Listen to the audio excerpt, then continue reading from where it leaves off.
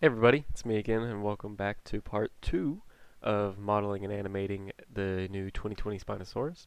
In the last one it kind of ended a little bit abruptly whenever the program decided to crash on me and I had to start over because I didn't save throughout the project. But uh, yeah, I redid everything back to where we were before and now here we are going back at it again. You can see me just tweaking some things and filling the inside of the mouth here now. Um, and then I'm going to cut the mesh in half later on to mirror it over once again since I make changes just to the one side. And you'll see me have issues with the way I did it there because there's not a seam down the middle. So if you are following this the way that I'm kind of doing it here, then make sure you have all of your middle vertices, uh, or the middle point of your model to all be vertices and not faces it'll save you a little bit of struggling later on that I'll have to deal with and correct. But yeah, you can see me just kind of tweaking some things and moving my vertices closer and further apart from each other to get some definition and like the creases under the belly that you can see in my uh, reference image there and at the back of the tail behind the uh, the uh, what's that called? Like the big back leg. So that's what I'm going through there. And now I'm just trying to do some things with the head here. You'll see me start to position the uh, the ring around the eye in a moment. Yes, here it goes here. So I was just subdividing that area. I should have just inserted an edge loop all the way through probably in hindsight, but oh well. It still works. So going in now, I'm just making a the lining of where the teeth are a bit thicker so that they have like a root rooted area to set into. Uh, now I'm taking out this middle section and inserting a sphere, which is where the eye will be. You don't actually connect these to the mesh, you have them separately so you can rotate those individually and not have to deal with weird skin weight issues that come with that. So here's me just starting to design the uh, fingers and then the uh, whole hand itself really. Uh, you can see me just kind of extruding the generic finger shape and then I'll go in and right back out. Uh, it's hard to see in the fast forward time lapse here, but if you extrude in on itself and then back out, it creates kind of like this lip around it, which looks like where the uh, nail meets the, the claw. You can see it a bit better right there. And it just gives it a nice look. And then you can see me going in there to reconnect to the rest of the mesh. Had to do some troubleshooting for the Jurassic Dream Discord, so just to ignore all the flashing back and forth. Sorry about that.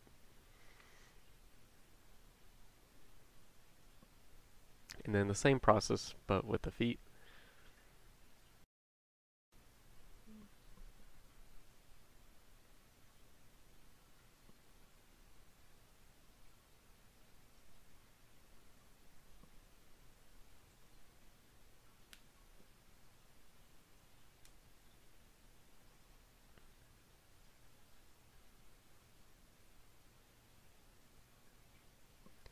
And now here's where I begin to work on the teeth. Um, originally, I was just going to extrude them out the same way that I did the nails and everything. But really what would be a lot easier for me to do is to just design the like a model of a tooth separately and just have them placed in the uh, spot where they would be and not actually connected to the mesh similar to the eyes. It just makes it easier on you in the long run, really.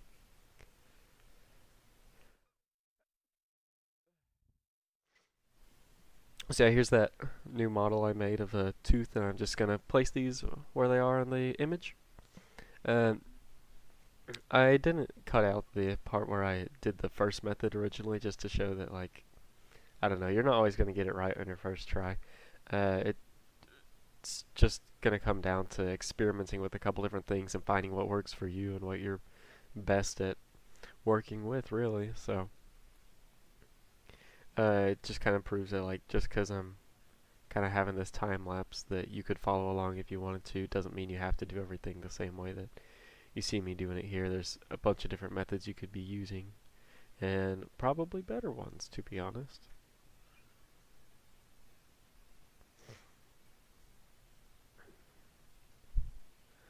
And this is just the solution I came up with to having that like fleshy bit that connects the upper and lower jaw, I was looking at the model from the side and realized that I got a huge gap in the back where there's no uh, teeth, and it looks a bit funny because if you've ever seen a Jurassic Park movie or just any dinosaur thing in general, they have that fleshy bit there, so I was trying to find a way to add that in, and that's the solution I came up with there.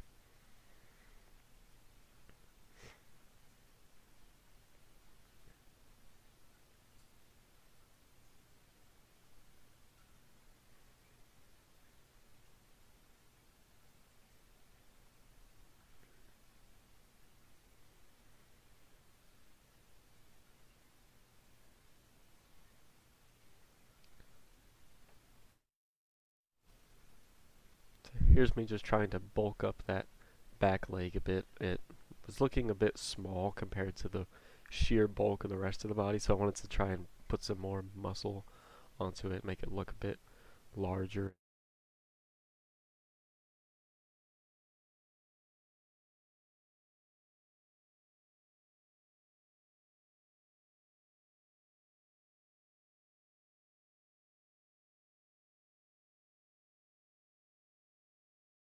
Now I'm going in with the sculpt tool to try and smooth some things out and in a moment you'll see me just actually start to add some mass to the model right like right there to start sculpting with it and I hadn't ever really messed with them before so it's a little sloppy but it gets the job done. I, I've basically just gone in and added some depth to it with the add mass button. I'm not sure what, if that's actually what it's called or not and then I just go over it because it gets all lumpy and smooth it out so you get the bulk of it without the uh, rigid lines.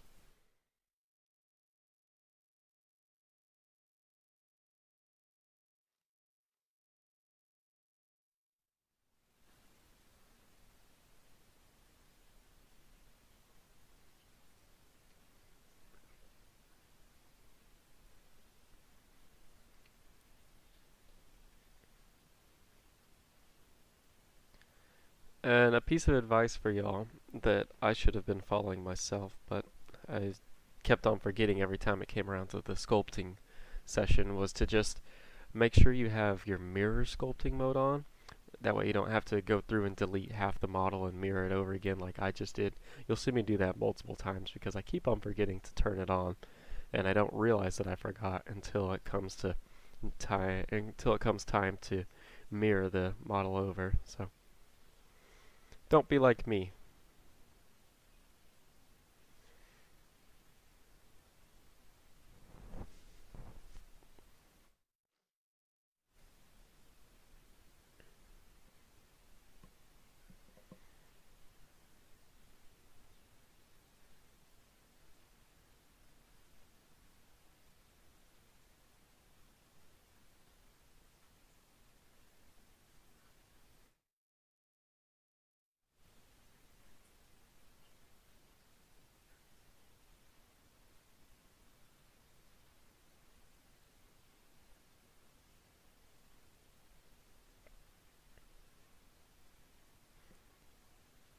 There I go again with the not knowing how to activate my mirror sculpting button because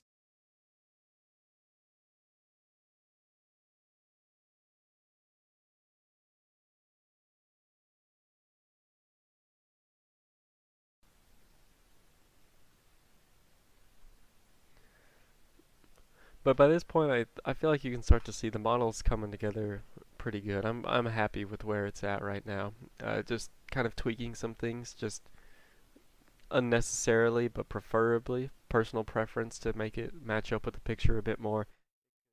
I could leave it like this if I really wanted to, but I just went in for the extra little details. I wanted to add some creases there in the elbow joint and everything, just because I thought it would make it look nicer. And I'll go in with a couple other things as well.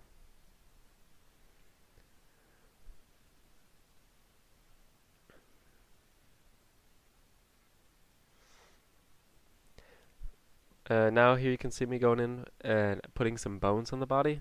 This is how you begin to animate is you need bones in your model to move around and manipulate to set your keyframes on and whatnot so you can see me making the rig for it right here. Um, don't forget to uh, name all of your joints and everything like you can see me doing that in the outliner on the left side of the screen there. it's uh, important because it just helps keep everything organized in the long run or else you'll have a ton of joints and bones and you just won't know really what's what if you're trying to select a specific thing on the side.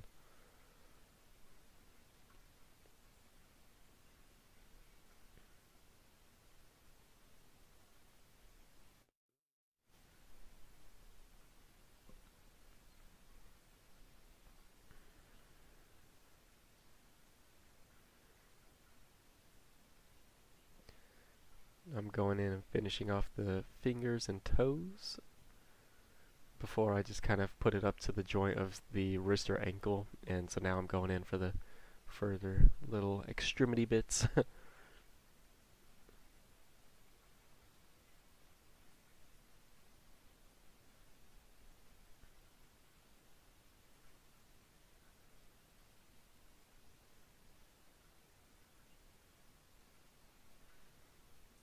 then just rinse, wash, and repeat the same process for your feet.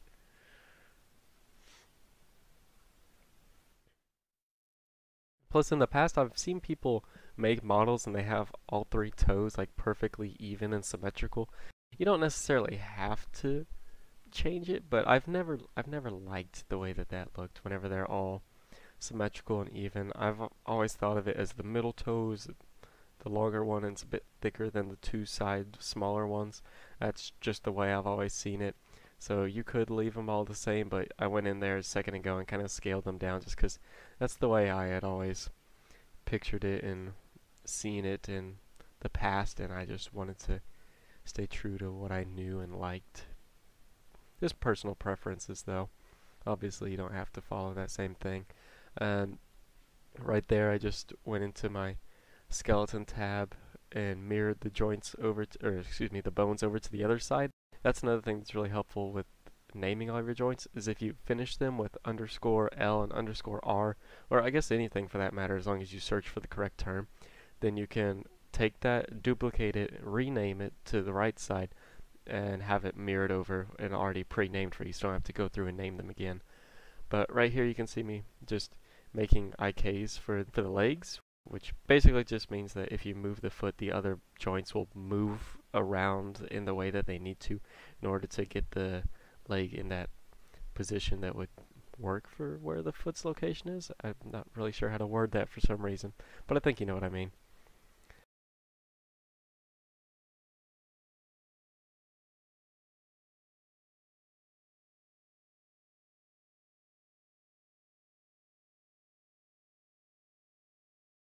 Here, the skin weights, I haven't even messed with them yet, but I just kind of put in a somewhat of a position just to kind of like have a proof of concept sort of thing of kind of what it'll look at in the future. Like I haven't even put in the bottom teeth yet, but I just wanted to kind of get some sort of picture of what this model could look like once I started to animate and finish it up a bit more.